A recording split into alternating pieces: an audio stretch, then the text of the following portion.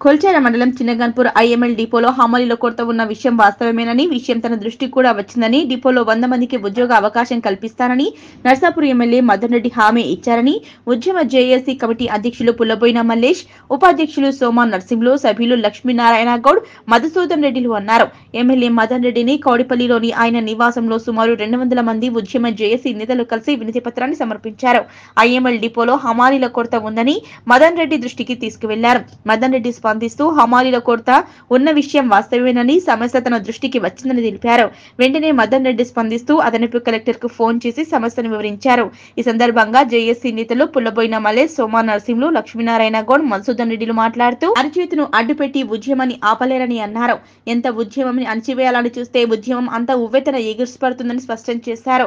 కొందరు హమాలీలా కొరత లేదని తప్పుడు ప్రచారం చేస్తున్నారన్నారు.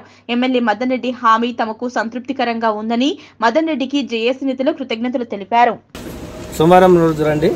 అలా పడతారని కొరత ఉందని నాకు కూడా దృష్టికి వచ్చింది మేము నన్ను సాధ్యమైనంత మందిని ఉపాధి కల్పిస్తానని ఒక ఎమ్మెల్యే గారు హామీ ఇవ్వడం జరిగింది. ఈరోజు మేము స్థానిక ఎమ్మెల్యే మదన్ రెడ్డి గారు కౌడిపల్లి రావడం జరిగింది. సార్ గారిని మేము కలవడం జరిగింది ఎమ్మెల్యే గారిని.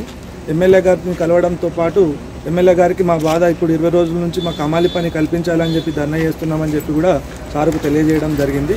సారు గారు మొ- మొన్న మేము స్టార్టింగ్లో కూడా చేసినప్పుడు మాకు హామీ ఇచ్చాడు నేను మున్గోడులో ఉన్నా మున్గోడుకే వచ్చిన తర్వాత మీతో మాట్లాడతాను చెప్పిండు.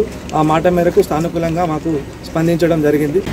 మేము ఎక్కడైతే ఇంతవరకు ఈ కమిషనర్ గారికి ఇచ్చినవి కానీ ఈఎస్ గారికి ఇచ్చిన కానీ అన్ని రిపోర్ట్లు కూడా తీసి మెమరాండం ఇచ్చిన వినతి పత్రాన్ని తీసుకొని వెళ్ళడం ఇవ్వడం జరిగింది. వాళ్ళు కూడా ఖచ్చితంగా సానుకూలంగా అన్ని వివరణ స్పందించి మరి ఎవరైతే మనకు నిరుద్యోగులు ఉన్నారో ఖచ్చితంగా స్థానికులకు ఉపాధి అవకాశం కల్పించాలని చెప్పేసి జేసీ గారికి వెంటనే ఫోన్ ద్వారా సందేశం పంపించడం జరిగింది. యాభై నుంచి రెండు వందల మంది వెళ్ళి ఎమ్మెల్యే గారికి మా మనతి మా విన్నపాన్ని ఆయన ముందు తెలియపరిచాము. తక్షణమే ఎమ్మెల్యే గారికి ఇట్లా జేసీ గారితో మాట్లాడి ఎంత కొరత ఉందో అది ఏదేందో చూసి మా యువకులకు న్యాయం చేయాలని ఎమ్మెల్యే గారి ఫోన్ ద్వారా జేసీ గారిని కోరడం జరిగింది. అలాగే సోమవారం రోజు ఎమ్మెల్యే క్వార్టర్స్కు రమ్మని మాకు ఒక నలుగురు ఐదుగురు రమ్మని చెప్పి ఎమ్మెల్యే గారి ఇట్లా చెప్పడం జరిగింది.